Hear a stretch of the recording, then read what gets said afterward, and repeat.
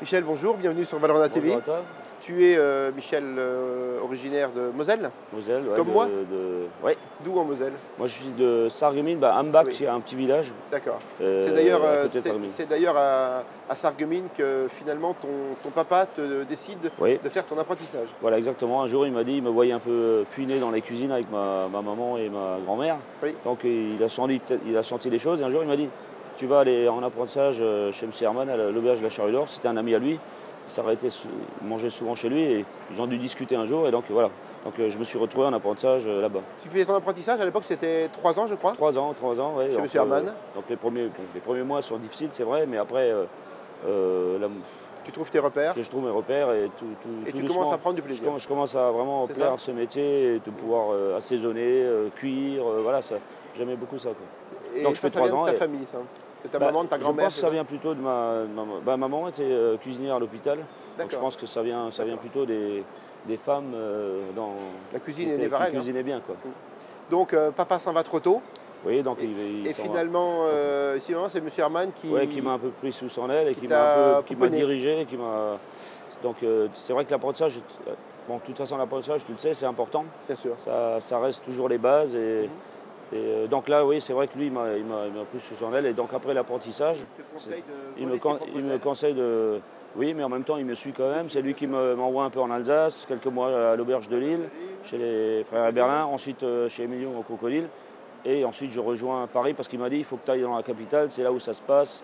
C'est euh, un autre rythme. Un Lorrain à Paris. Il, voulait absolument un Lorrain à Paris, parmi tant d'autres. Tu rejoins le doyen. Le doyen sur les Champs-Élysées, avec euh, à l'époque déjà M. Leguet qui. Qui Un chef charismatique. Grand, ouais, grand chef, euh, meilleur de France. Et Oui. c'est vrai que c'était impressionnant de le voir la première fois. Et donc là, je rejoins la, la grande brigade du, du restaurant Le Doyen, où, en- où en- où j'apprends à connaître ce qu'on appelle les, les parties, hein, le- Mhm. l'associé, l'entremet, les poissonniers. Là, tu découvres la vie d'une grande brigade. Une grande brigade avec un rythme, c'est vrai, soutenu. Et, pour moi, j'ai fait refait un apprentissage parce que c'est complètement différent. quoi. En 80, Le Guet quitte le doyen, Donc il reçoit, on lui propose la place du, de chef du- de- des cuisines du Ritz à Paris. prend Michel. Et il me, il me met dans un armoire à couteau, comme je dis, avec quelques autres, bien sûr, j'étais pas le seul. Oui. Et je rejoins le- les cuisines du Ritz, où euh, là, on, bah, on découvre un autre univers. le- Tu y passes 15 ans. euh, 15 ans, pourquoi? Parce que c'est plusieurs maisons dans une, euh, il y a plusieurs restaurants, il y a le room service, les banquets, ben voilà. C'est des maisons où tout, c'est- où tout est possible, tout même est possible, l'extraordinaire. 24 sur 24, on demande, le client est roi, on ne dit jamais non, et ça c'est la particularité d'un hôtel comme le Ritz. Donc là, on voilà. est, on est dans les années 80. On- Oui. Tu as découvert euh, un des premiers concours avec M. Herman, d'ailleurs. Tu es monté oui, à Paris. bah oui, c'est grâce au concours des meilleurs apprentis de France que je monte à Paris et que je, je pense que là j'ai vraiment pris goût euh, au concours. à qui me donne envie ouais, ouais, d'être avec les autres. Et alors, en euh, 85, tu 85, rempiles. Je rempile, je fais le prix Tétinger, voilà. Oui. Le Euh, Tétinger, ça, donne une, ça C'est assoit un grand une- concours, une réputation c'est partie déjà. des, des concours, on appelle ça du grand chelem. hein, qui font euh, référence dans votre voilà, métier. C'est vraiment un tremplin. Et donc ça, ça, ça me donne vraiment envie bah, de le faire, les- de m'inscrire au, bah, au, au MOF, comme Au- de Au France, et, euh, France. et au Bocuse d'Or. Et comme le MOF, ça occupe pas beaucoup, tu t'es dit si je faisais Voilà. euh, le Bocuse en même temps. Voilà, j'ai fait ça Comme en ça, une 91, pierre même coups, hein. J'avais une bonne, bonne équipe, j'étais dans une belle maison, j'avais des bons conseils de M. Leguet. Oui. Et donc j'ai euh, j'ai fait les deux concours dans six mois de. J'ai fait que ça, j'ai fait de la, du- de la compétition. advienne de que pourra, je me lance. hein. C'est ça Hein. Six mois. Six mois, pendant six mois que. Six mois et en donc, 91, donc c'est. c'était la grande année pour moi. C'est vrai que j'ai la chance de gagner le Bocuse d'Or ici, à Lyon. Je suis troisième, euh, troisième, c'est la Oui. troisième année. Je me souviens de ton, de Oui, ton œuf alors, euh, pense avec les macaronis truffés, ça, ça va rester dans l'histoire. Euh, un peu l'œuf à berger, je crois que c'est ce qui a fait la différence. Et euh, ça a vraiment marqué le, le jury. Qu'est-ce qui te plaît dans les concours, Michel c'est d'aller plus loin encore dans, bah, dans tout, c'est-à-dire dans, dans la recherche, dans la créativité, dans être aussi en équipe.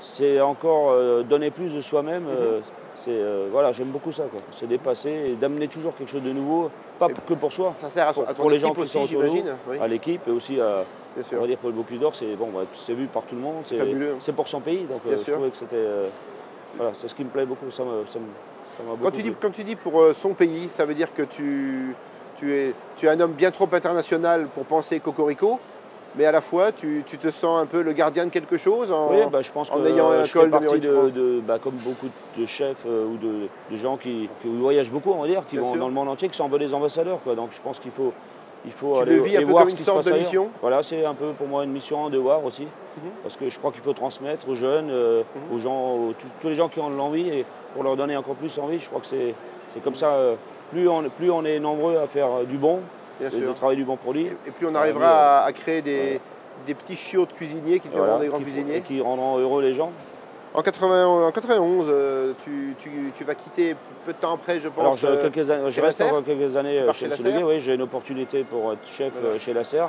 C'est un restaurant mythique de Paris. Je- euh, j'ai besoin aussi d'avoir ma brigade, de confirmer C'est ma, ton premier ma personnalité. c'est oui.